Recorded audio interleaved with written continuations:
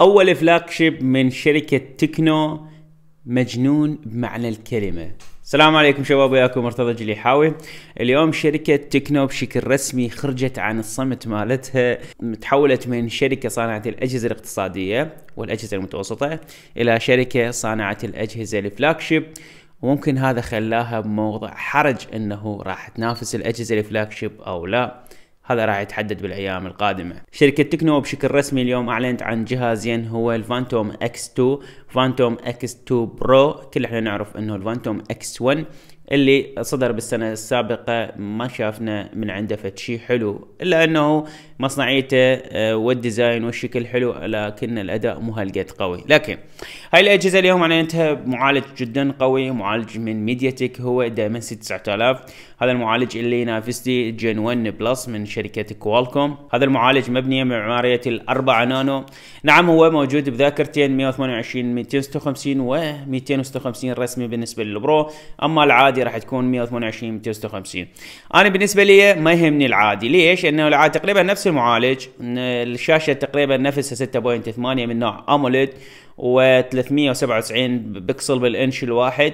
واستغلال الحواف جدا قوي 93.7% ليش؟ لأنه شاشة منحنية من الأطراف تنطيك جمالية جدا حلوة. مع التصميم ما اعرف شنو؟ هسه راح تشوفون التصميم. بالنسبة للجهاز حسيته ما أتقن أنت التصميم مال تكنو لازم تبدلونه أبو التصاميم لازم تبدلونه. التصميم مو هالقد حلو. التصميم ما أدري شلون تحسه فتشينه شاز مو هالقد حلوة يا جهاز نتيجة فجانب كاميرتين الخلف أساسية أما الكاميرا الثانوية. بالنسختين راح تكون بعدسة أساسية ال 64 وال 50 ميجا بكسل. خلينا ننتظر للكاميرات. أول بداية بتجي الشاشة. الشاشة راح تكون 6.8 إحنا قلنا من AMOLED راح تكون منحنية راح تكون جميلة.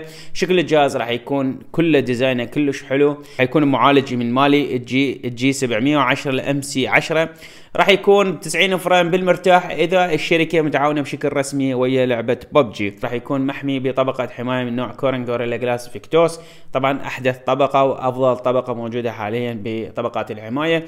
فشيء جدا ممتاز والشركة تقدر تقول تعبانة على هذا الجهاز.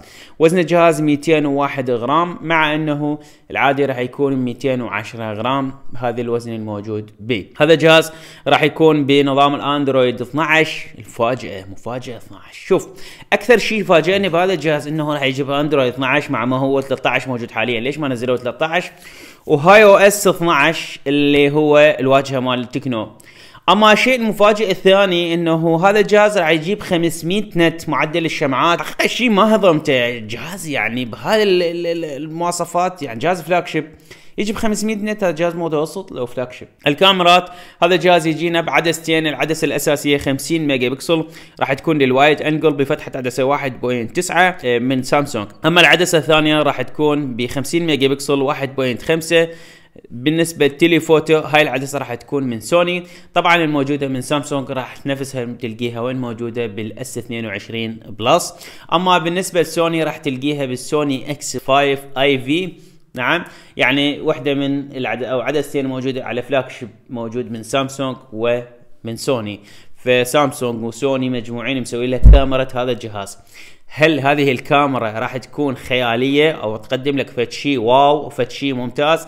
أنا أتمنى هذا الشيء من شركة تكنو. لا الأرقام مو دائما كل شيء لكن أكو تجربة تثبت لي أنه عدسات من شركات عملاق طبعا هذا الجهاز راح يصور لك ال 4K 30 و60 إطار بالثانية. فد شيء حلو. تصميم الكاميرات إحنا قلنا تصميمها مو هالقد حلو لكن ممكن بالواقع نلزم الجهاز نقول تصميمه حلو. لكن حاليا بالصور أو بالفيديو اللي شفناه تصميمه مخ حقيقة مخ مخجل. تصاميم شركة تكنو المفروض تبدل يغير التصميم قدر الإمكان. أو ممكن تجي تحسينات على نسخة يمكن تجي Pro S يعني X 2 Pro S يمكن يجي فيكون تحسينات عليه ممكن. هذا جهاز يجيب كاميرا أمامية العدسة اللي راح تكون ثقب على الشاشة راح تكون 32 ميجا بكسل وهاي العدسة راح تصور لك ال 1080 بكسل.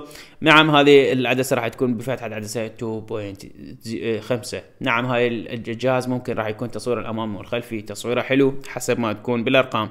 طبعا من الأشياء اللي حلوة حقيقة عجبتني بهذا الجهاز إنه النوع الذاكرة العشوائية الموجودة ال بي دي دي ار 5 إكس فشي ممتاز. أنواع الذواكر الموجودة UFS 3.1 يعني عندك أرقى نوع من الذواكر وأرقى نوع من الرامات فهذا شيء جدا ممتاز. مع إنه سامسونج آه، نزلت ال US UFS ال 4.1 أو 4 لكن ما أتوقع راح ينزل للسوق بهاي الأجهزة بهاي السنة.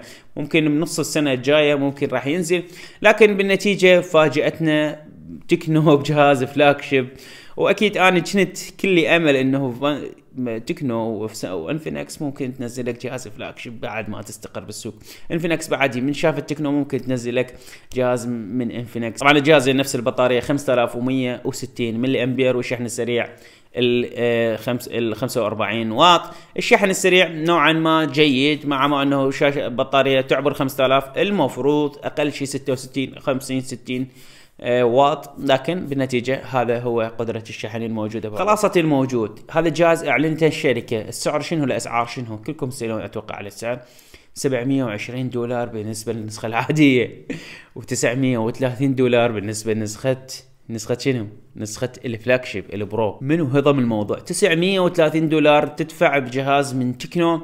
هاي وين الأسعار اللي راح تجي قريبا يمكن أسبوع أو أسبوعين حسب ما الإعلان الرسمي راح توصل أسواق منها أسواق المملكة العربية السعودية أو أسواق الشرق الأوسط بشكل عام. إذا وصلت السعودية وصلت الإمارات يعني راح توصلنا.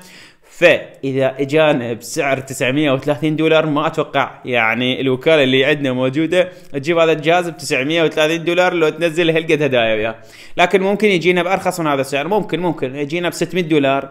ممكن اي اي 700 دولار. اي اي ممكن واحد يجي يجرب ويشوف شنو الأشياء الحلوة بيه ممكن يكون واحد من أفضل الأجهزة الفلاج شيب ممكن. فنتمنى انه يوصل لنا بأسرع وقت ونجربه وحقيقة صادمني شركة تكنو تنزل لك جهاز فلاج شيب وبنهاية السنة مو بداية السنة ومواصفات قوية لكن السعر أقوى من عندهم نهاية الفيديو لا تنسى الإعجاب والاشتراك بالقناة. وياكم مرتضى الجليحاوي وفي أمان الله. تحياتي لكم.